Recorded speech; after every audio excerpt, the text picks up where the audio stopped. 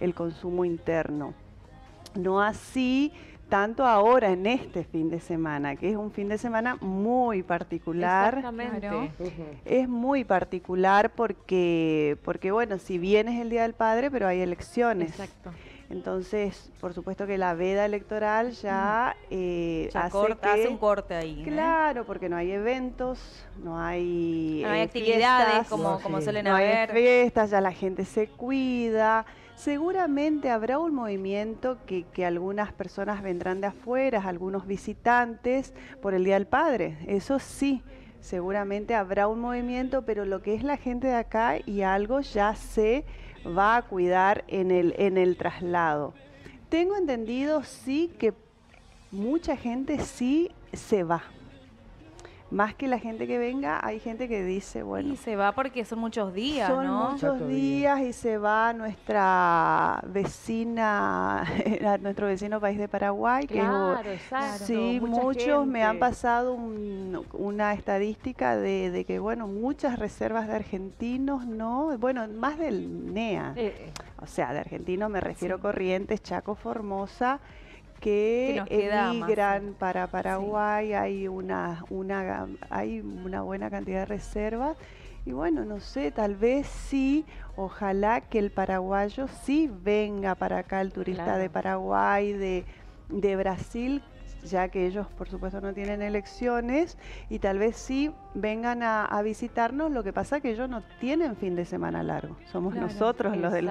o sea, tal cual. Este fin de semana largo es de un turismo interno, Claro. 100%. Y ustedes ya se dan cuenta en, en estas fechas, ustedes ya saben la capacidad hotelera, si está Sí, a full, si no, o sea, eso ya ustedes lo ven Ya está, a simple ya vista está. y dicen, no, este fin de semana, porque hay- a mí me pasó alguna vez de, de llamar al hotel porque vienen algunos familiares y dicen, y no, no hay más capacidad hotelera. Sí. Y vos decís, ¿y cómo puede Sí, que no ¿cómo haya puede hotel en resistencia? Sí. Decís vos. Y no, hay fechas que no hay. Hay fechas que no hay, eh, reconocemos que tenemos eh, una escasez de plazas hoteleras. Estamos, sí, viste que se han cerrado algunos hoteles en la pandemia, se, ha se han vuelto a abrir, pero igual eh, la ciudad se va posicionando como turismo de evento, como turismo de reuniones, corporativos y va quedando cada vez con, eh, con más necesidad de plazas hoteleras. Yo creo que pasa por ahí, necesitamos más plazas hoteleras, como vos bien decís, un fin de semana largo, viene un evento, 4.000 personas, 3.500 personas y nosotros ya No hay más estamos- hotel. no, hay, no hay más plazas, eso pasa. Claro, cuando hay, claro, como decís, los eventos, los partidos de fútbol, La que, ahora todo lo que está convocando, No, eh, ahí ya todos los se- últimos eventos que hemos tenido en estos últimos dos sí, años. Sí, sí, ahí se notó, se notó porque enseguida con 4.000, 5.000 personas. Claro, si había dos eventos juntos, No, la superposición de eventos es un tema que nosotros lo venimos trabajando siempre en agendas de no superponer eventos, Claro. porque tal vez un fin de semana explota y el otro fin de semana nada, ¿viste? Claro. Entonces trabajamos siempre junto a la municipalidad, junto al Instituto de Turismo de la provincia, trabajamos en una agenda coordinada, Claro. porque si no, o sea, que lo que también eh, reditúa y hace sostenible a la actividad que uno trabaje todos los fines de semana, que uno tenga una eh, sostenibilidad en lo que es el consumo y, y la rotación, obviamente, de lo que es el turista, porque con un verano Claro. no se hace nada. Pero nosotros necesitamos, sobre todo la parte hotelera y por supuesto la gastronómica, que todos los fines de semana haya, eh, haya visitantes, haya huésped, sea por, como te digo, eventos corporativos, familiar, Día del Padre, lo que fuese. Estamos muy expectantes también del nuevo hotel que se está por Sí, abrir, así hermoso. que... Sí, qué la verdad. Qué hermoso. lindo. Ay, sí. ¿Qué, qué, qué nivel ese hotel? Ay, Por no. favor. Yo me quedé eh, impactada porque por supuesto... Pero hasta inclusive lo lindo, ¿no? Que vos decís, no sé, me quiero ir a dormir una noche Sí. y despertarme Sí, con un ahí, desayuno y una vista. Va a dar o estar en un fin de semana, estar en la pileta, o sea, va a dar para todo eso porque tiene una estructura increíble, un spa, los restaurantes. La verdad que uno se maravilla ante, ante las inversiones. Por Claro, la supuesto inversión que la eso, eso no, ¿no? se hace Claro. con, con poco.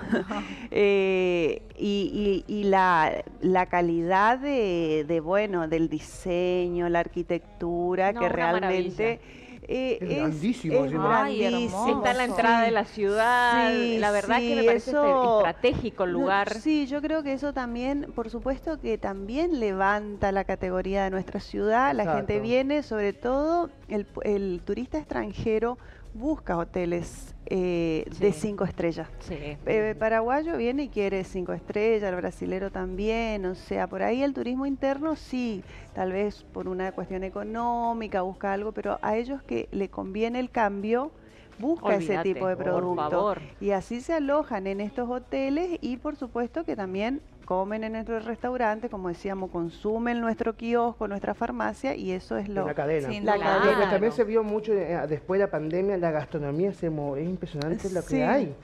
Es que Eh, sí, un- se, se posicionó, es un producto, la gastronomía es uno de los productos turísticos que, que más tracciona, no es porque yo sea No, no, pero gastronómica, pero, la verdad que es un producto turístico. La gente va a un destino a comer, va a probar, cual. O sea, a dormir y de- a comer. O sea, si vos no, eh, yo siempre digo que la gastronomía y la hotelería es la columna vertebral del turismo. Si vos no tenés dónde comer y dónde dormir, no podés Estamos hablar de. No, claro, no, no, podés hablar de un destino turístico.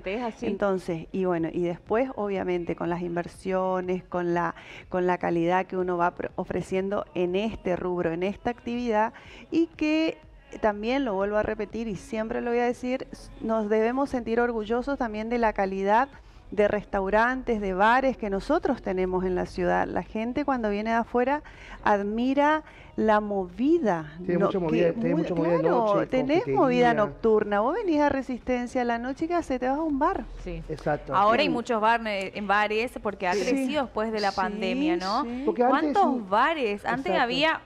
eh, no, no conozco todos.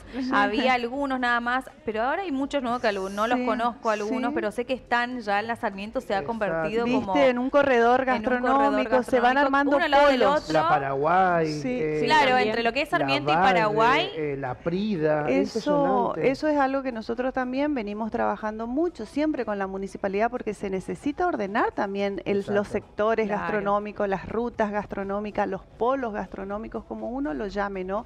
Nosotros tenemos eh, polos gastronómicos muy interesantes, porque sabemos que, por ejemplo, en el verano todo lo que son las avenidas, todo eso con un producto, sabemos todo, como vos decías, la Prida con jóvenes, la Sarmiento que también se está posicionando, las cervecerías artesanales, Están tenemos... Eso creciendo es como muchísimo, sí. impresionante. Los como food increíble, los food cómo los ordenan para que estén en un lugar, para que en cada evento están estén llenísimos. reubicados, con calidad, con eh, porque también ese tipo de formato eh, necesita también un orden, una, una seguridad. Se- Nosotros institucionalmente trabajamos mucho en lo que son eh, los cursos de buenas prácticas en manipulación de alimento Ah, que si bien son formatos que, que- que están, son un full track, pero tienen el agua, tienen su, su carnet de sanidad, tienen su, Toda la parte higiénica, su- claro, Claro. su capacitación en lo que es cómo manipular la comida, tal vez en a- Aparte en un lugar más, eh, eh,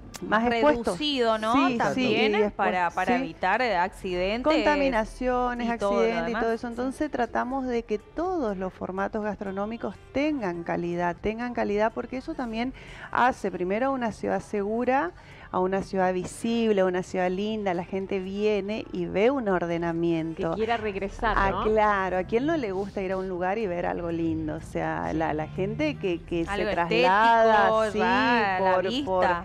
por, por turismo, eh, que le gusta ir a lugares lindos y yo creo, yo amo Resistencia, de uno eh, conozco la, la ciudad de punta a punta y, tenemos un potencial increíble, es una ciudad maravillosa donde... Fíjate vos, el sector empresario, los jóvenes, los cerveceros, todos estos bares que abren de gente joven, con, un, con, una, con unas ganas, con una motivación, porque yo hablo con mis colegas eh, más jóvenes, ¿no? porque yo ya tengo varios años de gastronómica, y digo eh, cómo, cómo les gusta, cómo invierte, cómo se juegan, cómo, cómo ellos están toda- todo el tiempo en la innovación, en esos bares modernos, con un público eh, renovado, y, y es muy lindo, es muy lindo que la gente invierta aquí en nuestra ciudad, que se juegue, que se arriesgue.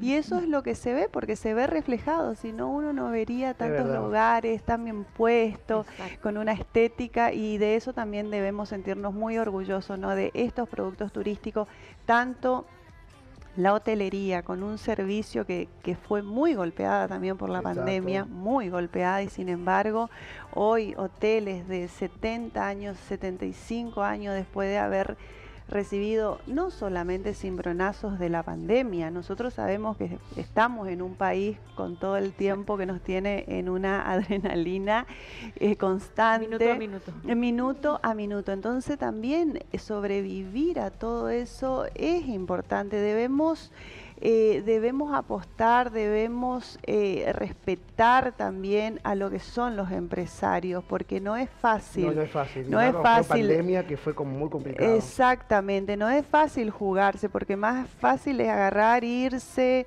o, o buscarse tal vez otro, otro sector, un sector público que, que- que- que tiene por supuesto todo su respeto, pero el sector privado también merece Exacto. merece su, su, a ver, su reconocimiento, su reconocimiento, porque es una, es todo el tiempo, todo el tiempo estar eh, en la creatividad, en la inversión, en qué gustan, y eso, y eso es muy valorable. Eh, y hoy la ciudad tiene un color, tiene eh, algo lindo que hace nuestra gastronomía y eso a nosotros nos hace muy sentir muy orgullosos. Qué lindo, la verdad que me encanta. Vero, ¿te animás a las ¿Al cartas tarot? del tarot? ¡Ay, me encanta! ¿En serio? Sí. Ay, que eso- esto es una sorpresa, ¿cómo que no me va a gustar? Por Muy bien, vamos a ver supuesto. ¿Cómo viene para este año, Vero? Cualquier carta que se quiere quedar una abajo, se ¿Cómo, una al cómo medio. viene en todo o En en, todo, o sea, en en todo. todo? Ah, En un general, panorama amplio, sí. Panorama te vamos Ah. a Esta que vos querés que quede abajo, al medio. del- Cualquiera, ah, la que tenga bueno. más bronca. Sí, o la que le tenga más amor. Ahí A ver, está. eso, ahí, la que le Ahí tenga con más amor, amor. con la mano Con amor. Amor. Ay, amor. Y yo soy zurda, así que saco con Ah, mi bien, mano acá dominante. otra zurda, acá Es tenemos mi Muy mano dominante. Bueno, ángeles. Eh, No se asusten con el nombre porque a veces no, no, no, No, es nada malo. Ángeles de la muerte se Ah, llama la carta, pero no se preocupen, no es nada de otro mundo. Esta carta te- lo que te representa mi amor a vos es, eh, ¿cómo te puedo decir? Que como veo acá mucho crecimiento profesionalmente y la parte emocionalmente de vos. ¿De qué signo sos? Géminis. Géminis. Ah, bueno, ¿Ahora es tu cumple o ya fue? Fue el 4 de junio, hace nada. felicidades. Sí, Nada, sí. hace poquito. Ariana, Puede Geminiana. ser que te pase tipo así como, eh, como frío, calor, frío, calor, tipo medio como menopáusica, pero no de, de, de emociones, tipo hoy sí quiero, mañana no quiero, sí, es como que...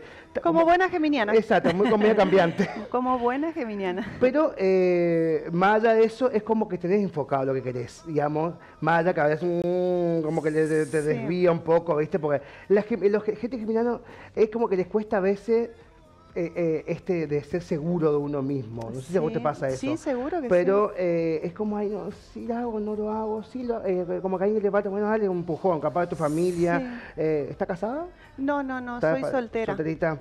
Está- ¿Pero está con alguien? Divina ella. Ay, vos me preguntás cada cosa. Acá veo a alguien, por eso. ¿Tampoco? Ve- veo a alguien. Sí, o sea, sí, sí. Una alegría tenés, Me Vero, va a tener- loca. Obvio, soltera. Obvio, hay que- nunca sola. Ah, no, claro, por supuesto. Veo acá que no está sola, que para que ese empujoncito te está dando. Este es un- Sí, eh, veo bien esa, Está esa bien. relación, la veo bi- bien fortalecida, eh, muy sexual. Eh, Vero. Me estás- estás mandando al frente. me estás incinerando. Por favor, te lo pido. Le agarró calor y Sí, no, entonces Kenchi también yo. Ah, lo veo muy bien, me gusta porque aparte es una mujer que tiene mucha luz. Tenés mucha luz, siempre está simpática, puede hacer que te pase cosas y bueno, eh, ya está. Es como que te rebala, el camino sigue, la vida es un boomerang, ¿sabes? Como Sí. que, porque puede ser también que vayas a a gente ahí que te mira, hay mucha gente que te mira, ahí, pero bien, uno sigue. Totalmente. ¿Te parece que sí, está- que está bueno? Me sí. encanta, muy. Bueno, gracias. Sí, me encanta. Me encanta porque sí coincide, es mi filosofía de vida. Yo creo que uno también sienta sus cimientos en una filosofía y mi filosofía de vida siempre va en eso, en el, en el poder dar, en el poder estar bien, el poder ayudar. A mí me hace muy bien poder ayudar, poder a veces uno ni se da cuenta de la manera en que ayuda con una palabra, con Exacto. un, con un Con un gesto, gesto, un con un detalle, abrazo. O con un escuchar nada Con más, un sin dar escuchar. consejo. Porque viste que te- sí. siempre somos los que Sí, damos consejos, no. Uno no Escuchar. dimensiona a veces lo importante que es eso, sentarte, escuchar, y eso la verdad que te, que te llena, te gratifica, siempre haciendo el bien, por supuesto, pilar fundamental. Hacer el bien sin mirar a quién, como dicen. ¿eh? Exactamente, siempre haciendo el, el bien, con amor, con buenos sentimientos.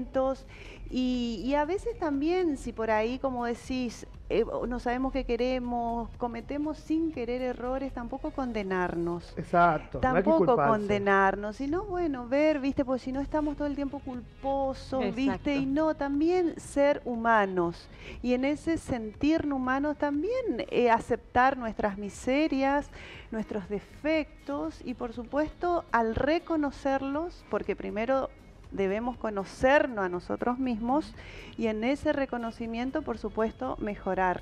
Esa, esa es mi, mi filosofía de vida, mi pilar, y me ha dado muchísimas satisfacciones, Se muchísimas los puede ver a la satisfacciones. vista. ¿eh? Sí. Se puede muy, ver muy a la cara. amorosa, tiene mucha luz ella, ¿eh? Y eso que recién la conozco. Muchas También. gracias. Es una persona gracias. maravillosa. Bueno, Vero, Gracias. muchísimas Gracias, gracias, por Vero. tu tiempo. Muchas Sabemos gracias. que andás a mil todos Por- los días, así que gracias por venir. Pero, pero también el tiempo es algo valioso y es lindo entregarlo. El tiempo Sí. también, darnos este momento y les vuelvo a repetir la agradecida y me honra que me hayan invitado.